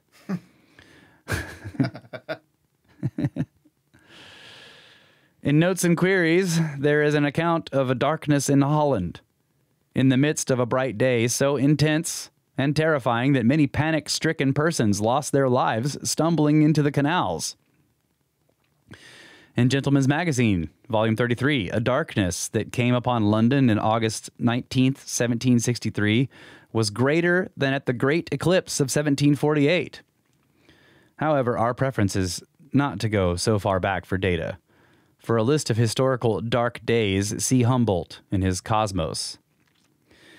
And the Monthly Weather Review, March 1886.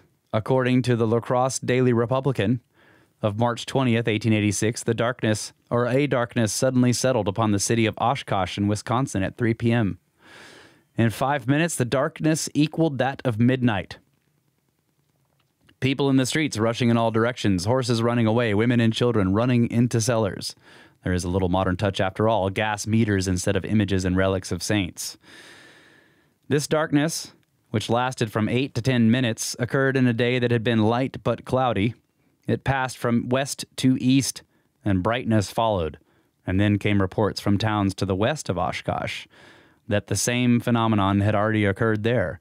A wave of total darkness had passed from west to east. Other instances are recorded in the monthly weather review, but as to all of them, we have a sense of being pretty well eclipsed ourselves by the conventional explanation that the obscuring body was only a very dense mass of clouds. But some of the instances are interesting. Intense darkness at Memphis, Tennessee, for about 15 minutes at 10 a.m. So because it passed from west to east, it would have had to have been because the body was moving, That's right. In not our, because, not due to the rotation. that's right. Yeah. Okay. I had to work that out in my brain Right. a little bit.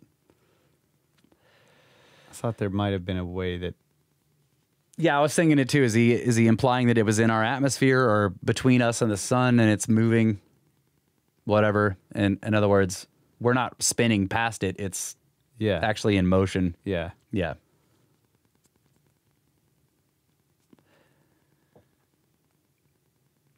Okay. An intense darkness at Memphis in Tennessee for about 15 minutes, 10 a.m., December 2nd, 1904. We are told that in some quarters a panic prevailed and that some were shouting and praying and imagining that the end of the world had come. That's from the Monthly Weather Review, Volume 32. At Louisville in Kentucky, March 7th, 1911, at about 8 a.m., duration about half an hour. It had been raining moderately, and then hail had fallen. But the intense blackness and general ominous appearance of the storm spread terror throughout the city. As to darknesses that have fallen upon vast areas, conventionality is smoke from forest fires. In the U.S. U.S. Forest Service Bulletin, number 117, F.G. Plummer gives a list of 18 darknesses that have occurred in the United States and Canada. He is one of the primitives, but I should say that his dogmatism is shaken by vibrations from the new dominant. His difficulty, which he acknowledges, but which he would have disregarded had he written a decade or so earlier, is the profundity of some of these obscurations. He says that mere smokiness cannot account for such awe inspiring dark days.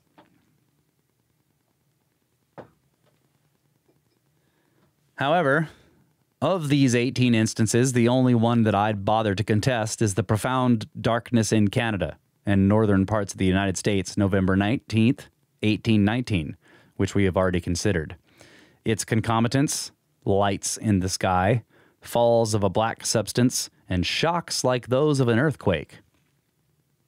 In this instance, the only available forest fire was one to the south of the Ohio River.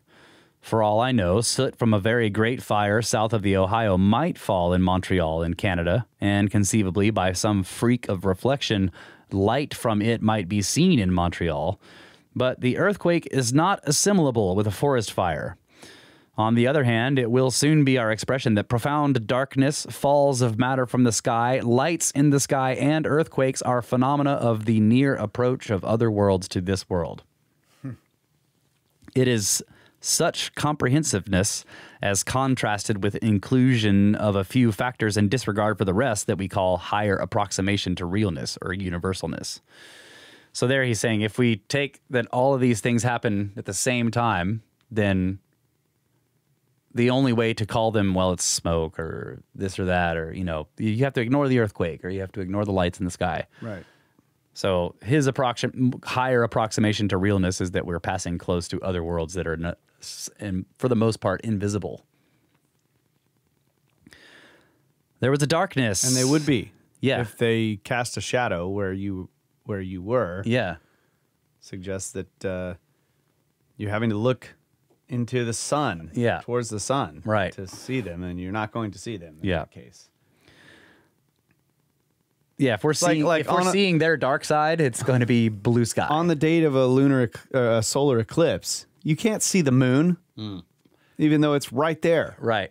next to the sun. Yeah, that's true. All, it all it is all. is a black disc that You, well, you don't see it until it passes in front of the sun. Yeah. I mean, but it's completely invisible. That's right. There was a darkness in 1904 in April at Wimbledon in England. This is from Symons Meteorological Magazine. It came from a smokeless region. There was no rain, no thunder. It lasted 10 minutes, and it was too dark to go, quote, even out into the open, unquote. As to darknesses in Great Britain, one thinks of fogs, but in Nature, Volume 25, there are some observations by Major J. Herschel upon an obscuration in London, January 22nd, 1882 at 10:30 a.m. that was so great that he could hear persons on the opposite side of the street but could not see them, and it was quote obvious that there was no fog to speak of, unquote.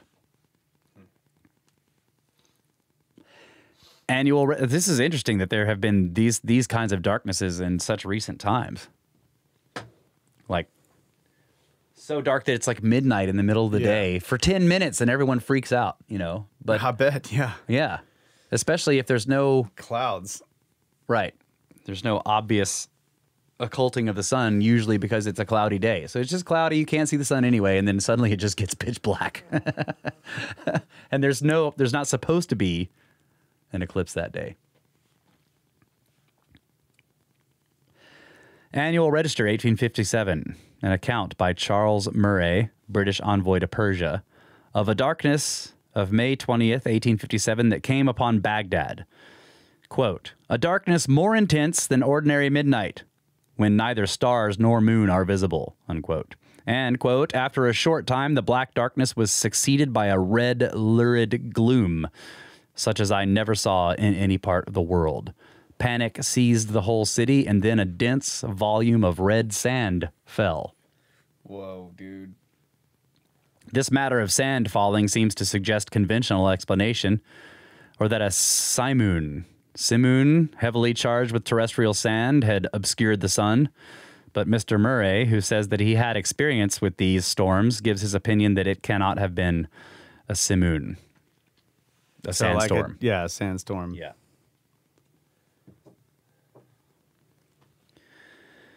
If a large substantial mass or superconstruction should enter this Earth's atmosphere, it is our acceptance that it would sometimes, depending on velocity, appear luminous or look like a cloud, or like a cloud with a luminous nucleus.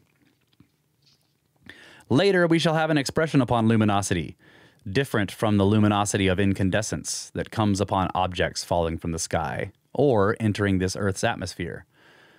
Now, our expression is that worlds have often come close to this Earth, and that smaller objects, size of a haystack or size of several dozen skyscrapers lumped, have often hurtled through this Earth's atmosphere and have been mistaken for clouds because they were enveloped in clouds or that's around something coming from the intense cold of interplanetary space. That is, of some regions, our own suspicion is that other regions are tropical. The moisture of this Earth's atmosphere would condense into a cloud like appearance around it. In Nature, Volume 20, there is an account by Mr. S. W. Clifton, collector of customs at Fremantle in Western Australia, sent to the Melbourne, Melbourne Observatory a clear day, appearance of a small black cloud moving not very swiftly that burst into a ball of fire of the apparent size of the moon. Man, that's crazy. Finley gives dozens of instances of tornado clouds that seem to me more like solid things covered in clouds than clouds. He notes that in the tornado at Americus in Georgia, July of eight, July 18th, 1881, a strange sulfurous vapor was emitted from the cloud.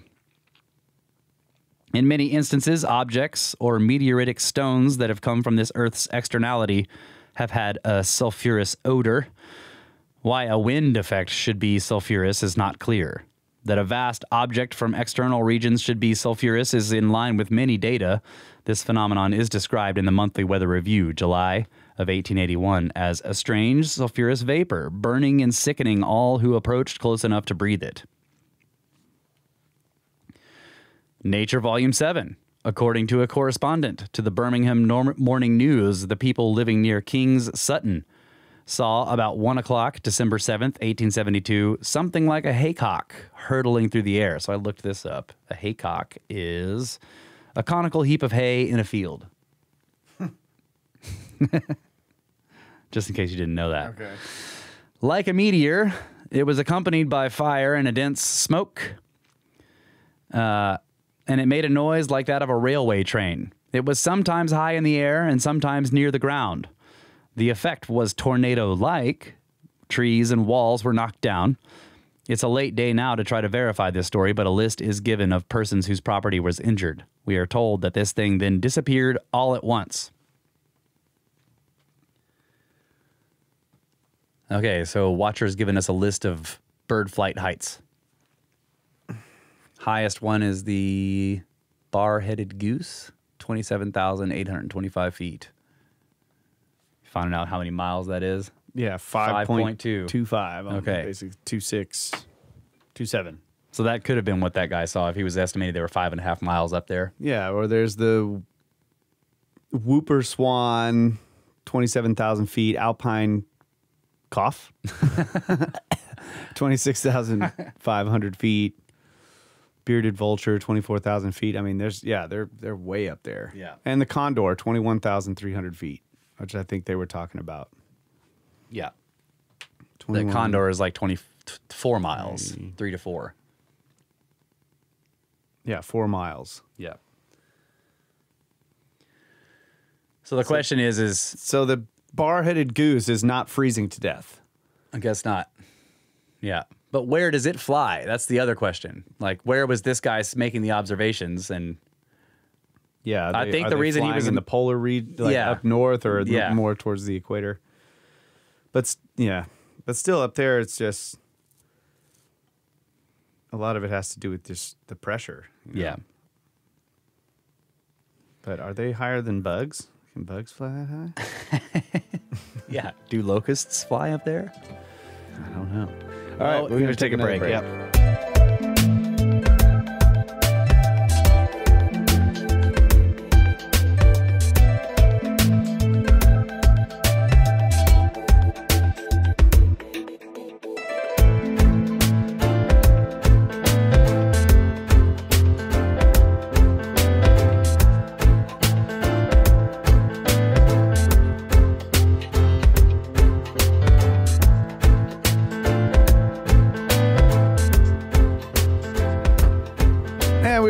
Ladies and gentlemen. Final segment here of the show 237. Book of the Damned, part something. And uh, Part eight, I think. Oh, yeah. It is there. going to be one of the longer book reports. Yeah. All good. Yeah. Gives us something to do. So Perry has gone over 15,000 records of earthquakes, and he has correlated many with proximities of the moon, or has attributed many to the pull of the moon when nearest the Earth. Also, there is a paper upon this subject in the Proceedings of the Royal Society of Cornwall, 1845, or theoretically, when at its closest to the Earth, The moon quakes the face of the earth and is itself quaked, but does not itself fall to this earth. As to showers of matter that may have come from the moon at such times, one can go over old records and find what one pleases. And that is what we shall now do. Our data. We take them from four classes of phenomena that have preceded or accompanied earthquakes unusual clouds, darkness profound, luminous appearances in the sky, and falls of substances and objects, whether commonly called meteoritic or not. Or is it the other way around? That the earthquake is accompanying some fall of something. Yeah. What What's the difference? What do you mean? What's the difference? To difference? say that um, some darkness or some fall accompanies an earthquake. I mean, implies like, the earthquake implies is that- the cause. Yeah, you you know what I'm saying? Yeah. It's like like he had mentioned before that it was some close pass of a external body Yeah. That the earthquake would have been the result of that. Yeah. Not the other way around, right? Yeah. yes, the earthquake is the result, but so are also the falls and the Yeah, yeah, yeah. darknesses and the luminous lights in the sky and stuff. Yeah, so I wouldn't if if we were looking at data and we saw okay, here's earthquakes and darknesses and falls all happening together. Mm-hmm. I wouldn't say well the darknesses and falls are accompanying these earthquakes. It just seems to be the Yeah. other way around. Right. me. How could an earthquake cause that? Yeah, I think that's his point for sure. I think that that is what he's trying to point out is that you can have an earthquake and you can have dark clouds and things falling from the sky, but when you have these things together, this implies this seems to imply something more than just chance. Not one of these occurrences fits in with principles of primitive or primary seismology, and every one of them is a datum of a quake to body passing close to this earth or suspended over it. To the primitives, there is not a reason in the world why a convulsion of this earth's surface should be accompanied by unusual sights in the sky, by darkness, or by the falls of substances or objects from the sky. As to phenomena like these, or storms preceding earthquakes, the uh, irreconcilability is still greater. It was before 1860 that Perrey made his great compilation. We take most of our data from lists compiled long ago. Only the safe and unpainful have been published in recent years, at least in ambitious and voluminous form. The restraining hand of the system, as we call it, whether it has any real existence or not, is tight upon the sciences of today. so I included that last part because it's interesting here during this particular section of the book, Fort is pointing out uh, that he notices the the fall falling away of these kinds of reports, and that there's a timeline. And he attributes it to the system clamping down. Right here, he says the monthly weather review is still a rich field of unfaithful observation. But in looking over other long established periodicals, I have noted their glimmers of quasi individual individuality fade gradually after about 1860 and the surrender of their attempted, attempted identities to a higher attempted organization. Hmm. Some of them expressing intermediateness wide intermediateness wide endeavor to localize the universal or to localize self, soul, identity, and entity or positiveness and realness held out until as far as 1880. And there are traces findable up to 1890.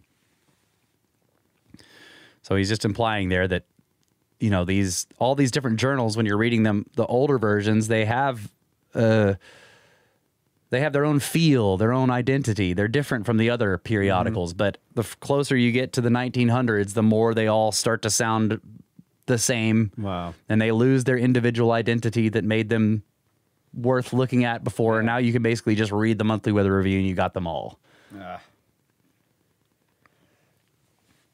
and even even the monthly weather review, he said, was a rich field of unfaithful observation until about 1860. It fades gradually. After the death of Richard Proctor, whose occasional illiberalities I'd not like to emphasize too much, all succeeding volumes of knowledge have yielded scarcely a single unconventionality. Note the great number of times that the American Journal of Science and the report of the British Association are quoted in here. Note that after, say, 1885, they're scarcely mentioned in these inspired but illicit pages. As by hypnosis and inertia, we keep on saying, right around 1880, they throttle and disregard. But the coercion could not be positive, and many of the excommunicated continue to creep in, or even to this day, some of the strangled are faintly breathing.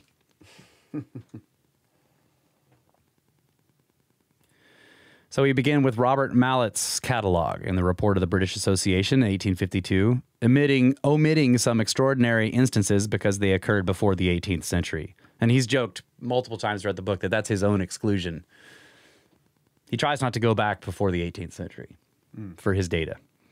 Earthquake preceded by a violent tempest in England, January 8th, 1704, preceded by a vi- brilliant meteor in Switzerland, November 4th, 1704, a luminous cloud moving at high velocity, disappearing behind the horizon in Florence, December 9th, 1731.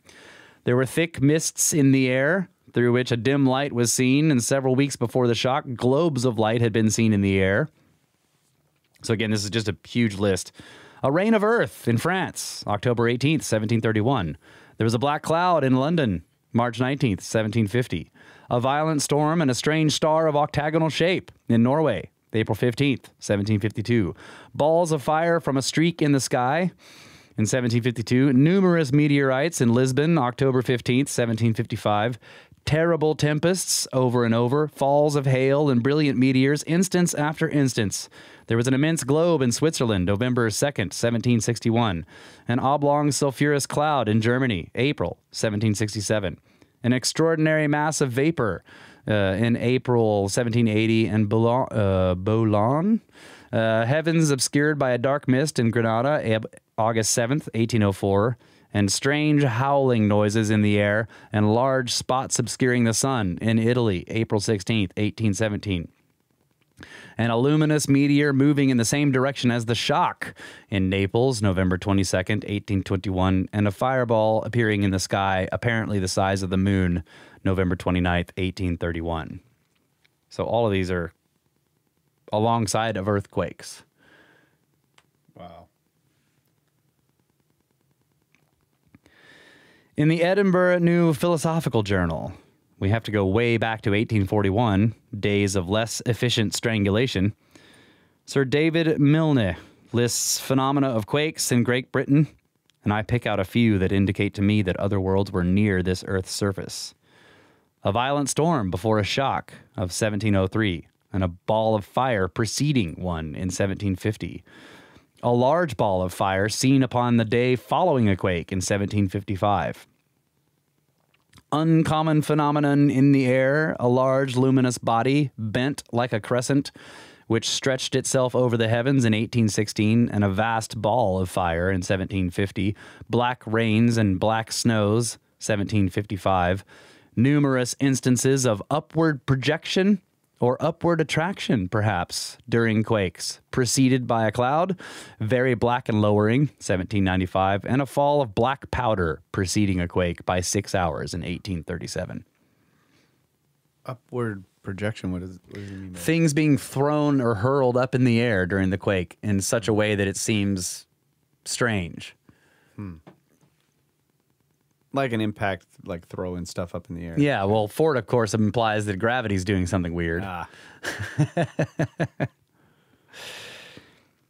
So he says, I'm beginning to modify that at a distance from this Earth, gravitation has more effect than we have supposed, though less effect than the dogmatists suppose and prove. I'm coming out stronger for the acceptance of a neutral zone, that this Earth, like other magnets, has a neutral zone, in which is the Super Sargasso Sea, and in which other worlds may be buoyed up through projecting parts, though projecting projecting parts may be subject to this Earth's attraction. Now, I just wanted to point that out because he's right. We have Lagrange points, which are neutral zones of gravitation. These are known. And yes, if you want to think of Fort Super Sargasso Sea somewhere out in space, like the uh, Sarga- uh, the a Lagrange point is a perfect point, place yeah. for like stuff to just hang out Collect, yeah. in relatively zero motion relative to the Earth. You know, that could fall down here if something perturbs it. Yeah, and there are uh, strange, like gravitational phenomena, like you were pointing out. Uh, I don't remember what the topic was, but it was like there's these like hills in the ocean. Yes. Yeah. Or dips in the Yeah. ocean. Then you got to climb back out of it. Yeah. Yeah. That is strange. yes.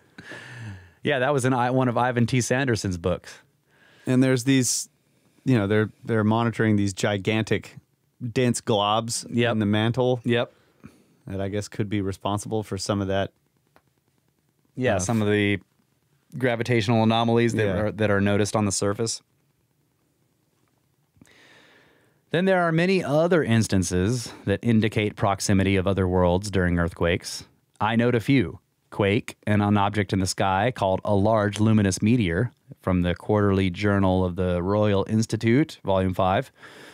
A luminous body in the sky, and an earthquake and a fall of sand in Italy, February 12th and 13th in 1870. Many reports upon luminous object in the sky and earthquake in Connecticut in 1883 from the Monthly Weather Review. A luminous object or meteor in the sky and a fall of stones from the sky and earthquake in Italy in 1891. An earthquake and a large number of luminous bodies or globes in the air in France, 1779 an earthquake at Manila, 1863, and curious luminous appearance in the sky. The most notable appearance of fishes during an earthquake is that of Riobamba. Humboldt sketched one of them, and it is an uncanny looking thing. Thousands of them appeared on the ground during this tremendous earthquake. Humboldt says that they were cast up from subterranean sources. I think not myself, and I have data for thinking not, but there'd be such a row arguing back and forth that it's simpler to consider a clearer instance of the fall of living fishes from the sky during an earthquake. I can't quite accept myself whether a large lake and all the fishes in it was torn down from some other world or a lake in the Super Sargasso Sea, distracted between two pulling worlds and was dragged down to this earth. But here are the data. February 16th, 1861, an earthquake in Singapore.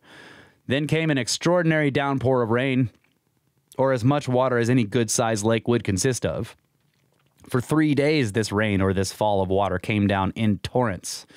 In pools on the ground formed by this deluge, great numbers of fishes were found. The writer says that he had himself seen nothing but water fall from the sky. Whether I'm emphasizing what a deluge it was or not, he says also that so terrific had been the downpour that he had not been able to see three steps away from him. But the natives in the area said that the fishes had fallen from the sky. Three days later, the pools dried up and many dead fishes were found. But in the first place, though that's an expression for which we have a distinctive dislike, the fishes had been active and uninjured. Then follows material for another of our little studies in the phenomena of disregard. A psychotropism here is mechanically to take pen in hand and mechanically write that fishes found on the ground after a heavy rainfall came from overflowing streams. The writer of the account says that some of the fishes had been found in his courtyard, which was surrounded by high walls. But paying no attention to this, a correspondent explains that in the heavy rain, a body of water had probably overflowed, carrying the fishes with it. We are told by the first writer that these fishes of Singapore were of a species that was very abundant near Singapore. So I think myself that a whole lakeful of them had been shaken down from the Super Sargasso Sea under the circumstances we have thought of. However, if appearance of strange fishes after an earthquake be more pleasing in the sight or to the nostrils of the new dominant, we faithfully and piously su- supply that incense. An account of the occurrence at Singapore was read before the French Academy, and it was recalled that upon a former occasion, it had been submitted to the Academy the circumstance that fishes of a new species had appeared at the Cape of Good Hope after an earthquake.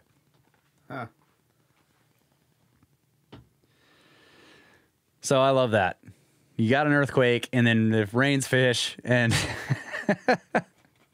now, yeah, could it be a coincidence? But again, Fort is constantly saying, you know, this book is an exercise in overworked coincidence.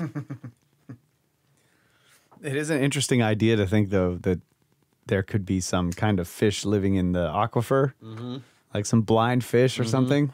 yep. You have this earthquake and it just rips it open and Yeah, all these- blows out all this water with all these fish Yeah. that no one's ever seen before, and they're Yeah. all strange looking. Yep.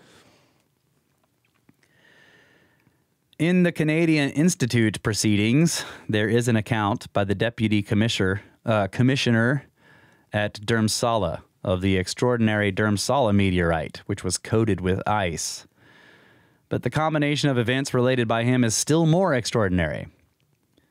That within a few months of the fall of this meteorite, there had been a fall of live fishes and a shower of red substance and a dark spot observed on the disk of the sun and an earthquake and an unnatural darkness of some duration and a luminous appearance in the sky that looked like an aurora borealis. but there's more to this climax. We are introduced to a new order of phenomena visitors. The deputy commissioner writes that in the evening after the fall of the Dhurmsala meteorite, or mass of stone covered with ice, he saw lights, and some of them were not very high, and they appeared and went out and reappeared. Now, earthquake lights is I don't know if I would say it's a known thing, but this is this does happen. That there is some kind of strange electrical discharge happening around earthquakes. Maybe it sh- shows up as ball lightning. Uh, but yeah, earthquake earthquake lights is a is a thing. I don't know though, but like the I love that this list. Yeah. Uh, a fall of fishes, a shower of red substance, dark spot on the disk of the sun, an earthquake, an unnatural darkness, a luminous appearance in the sky that looked like an aurora borealis. I got it. so, some object comes in like a cometary chunk. It gets broken up by the sun. Part of it falls into the sun, creates a giant, massive storm on the sun. Oh, yeah, yeah. And it blows the CME out, which Yeah. comes towards us. And then other pieces of it fall on the earth. And some of them land in the water and throw fishes up. some of it lands on the earth. and then we get hit by a CME and we get the northern lights and Yeah. there's all these kind of weird rains and Yeah. stuff from where the and, there, and, a, and a sunquake yeah because the CME causes the earthquake too. yeah Yeah. All right, mystery, mystery solved. solved Next mystery. Next mystery. The writer says that the lights moved like fire balloons, but, quote, I am sure that they were neither fire balloons, nor lanterns, nor bonfires, nor any other thing of that sort, but bona fide lights in the heavens, unquote. It's a subject for which we hal- shall have to have a separate expression. Trespassers upon territory to which something else has legal right. Perhaps someone lost a rock and he and his friends came down looking for it in the evening, or secret agents or emissaries who had an appointment with certain esoteric ones near Dhurmsala. Things or beings coming down to explore and unable to stay down long. In a way, another strange occurrence during an earthquake is suggested. The ancient Chinese tradition, the marks like hoof marks in the ground, we have thought, with a low degree of acceptance, of another world that may be in secret communication with certain esoteric ones of this earth, Earth's inhabitants, and of messages in symbols like hoof marks that are sent to some receptor or special hill upon this earth, and of messages that at times miscarry. So that's going all the way back to the cut marks. But yeah, I just love how he just throws in there like maybe these were people sneaking in during all this chaos. Yeah. They're like, oh man, they, they just got hit by a meteor and there's some earthquakes. Let's go. Yeah. They won't detect us. That's right. we lost our rock. It's the meteor.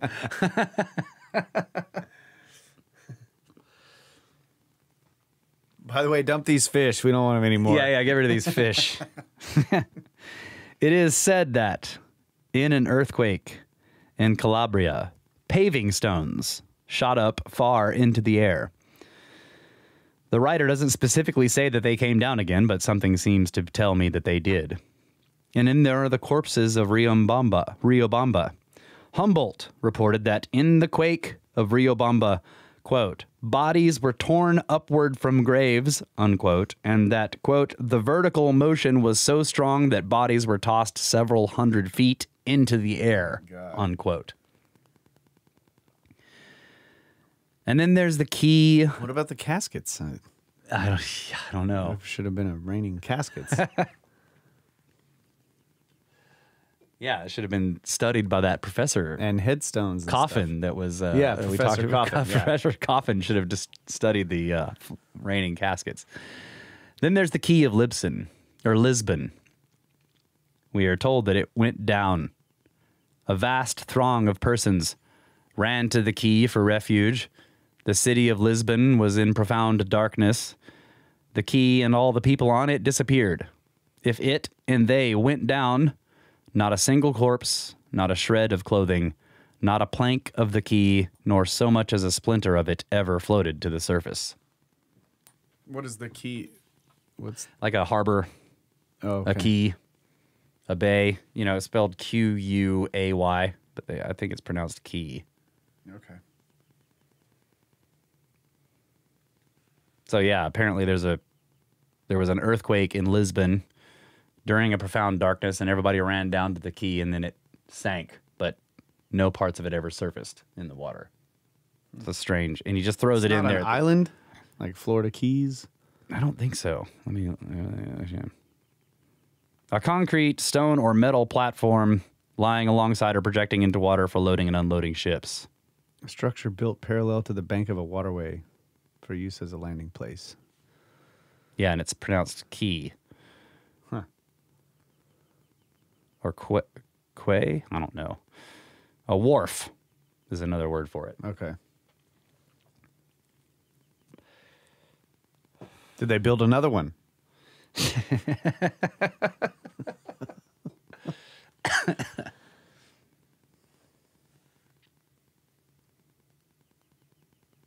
Okay. Skipping a whole chapter here because he's going off on positivists. Maybe we'll cover some of that in a um, Patreon.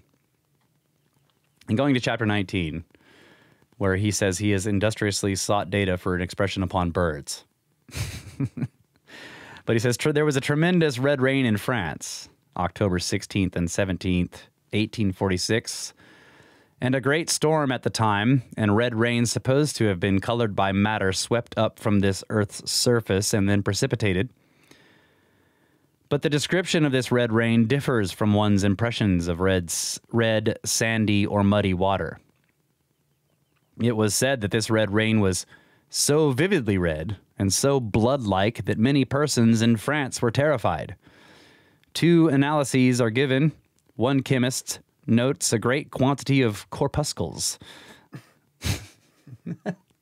Whether blood like or not, is uh, are were in the rain. The other chemist sets down organic matter at 35%.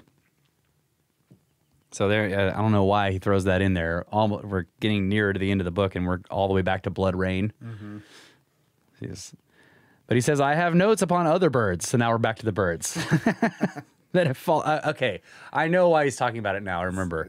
This has to do with earthquakes still? No, I think he's wondering if birds are being destroyed in the sky, Oh, okay. and then it rains, Rains blood. Yeah.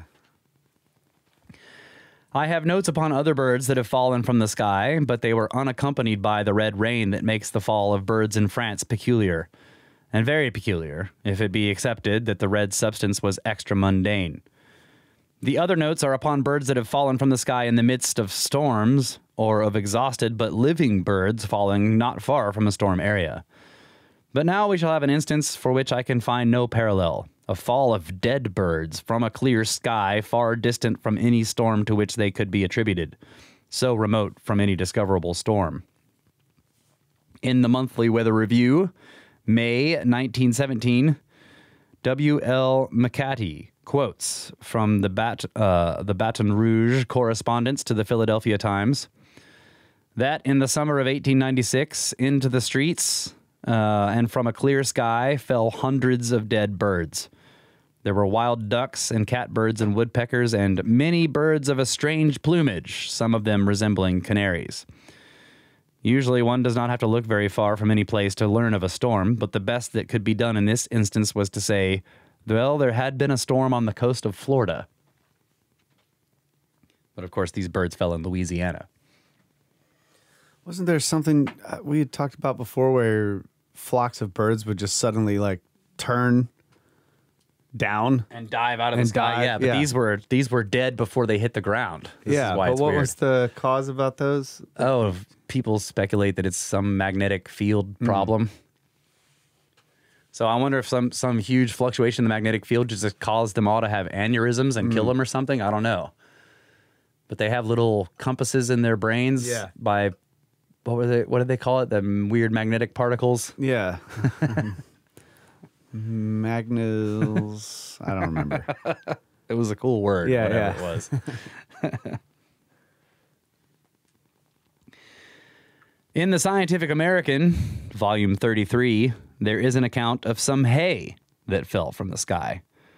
From the circumstances, we incline to accept that this hay went up in a whirlwind from this earth in the first place, reached the Super Sargasso Sea, and remained there a long time before falling. An interesting point in this expression is the usual attribution to a local and coinciding whirlwind and the identification of it. And then Cryptochrome. cryptochrome. That's it. That's right. Thanks, Watcher. We need we need more cryptochrome. I need I need extra cryptochrome in yes, my brain. Yes, I'd love to have extra cryptochrome. Uh, okay, so an interesting point in this expression is the usual attribution to a local and coinciding whirlwind and an identification of it, and then data that make that local whirlwind unacceptable. Upon July 27th, 1875, small masses of damp hay fell at Monkstown in Ireland.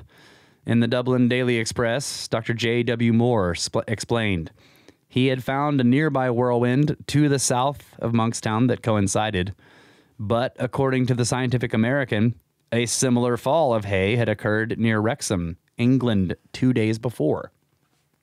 Hmm. Cosmos Volume 3, upon the 10th of April, 1869, at uh, Autriche, I don't know, in France, a great number of oak leaves, an enormous segregation of them, fell from the sky on a very calm day. There was so little wind that the leaves fell vertically, and the fall lasted 10 minutes. In La Nature, 1889. Upon April 19th, 1889, dried leaves of different species, oak, elm, etc., fell from the sky. This day, too, was a calm day, and the fall was tremendous. The leaves were seen to fall for 15 minutes, but judging from the quantity on the ground, it is the writer's opinion that they had already been falling for half an hour. I think that the geyser of corpses that sprang from Riobamba towards the sky must have been an interesting sight. If I were a painter, I'd like that subject. But this cataract of dried leaves, too, is a study in the rhythms of the dead.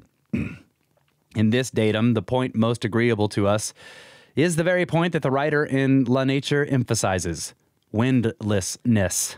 He says that the surface of the river was absolutely smooth, but it was strewn with leaves as far as he could see. In L'Astronomie, 1894, upon the 7th of April, 1894, dried leaves fell at Clairvaux in France. The fall is described as prodigious, and it fell for half an hour. And then upon the 11th, a fall of dried leaves occurred at Pontcarré.